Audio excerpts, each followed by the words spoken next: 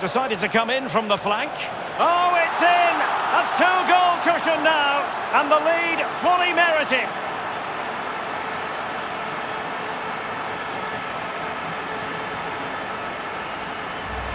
Well, here's the replay, and it's a lovely ball into the box. But you do have to ask questions about the keeper. Could he have done better here? I think so. You can't keep getting beat at the near post like that.